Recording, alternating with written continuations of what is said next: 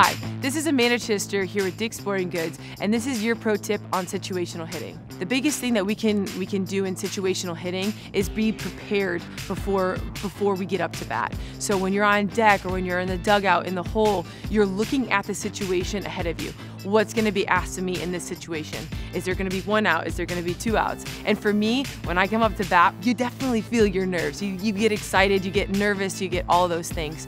So preparing ahead of time really helps me calm those nerves and know when I'm up to bat, I'm ready to go.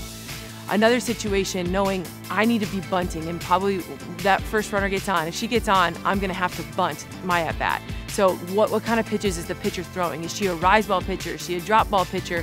Whatever it is, knowing what kind of pitcher she is, so when you have to bunt in that situation, you're ready for it and you know what you're getting yourself into.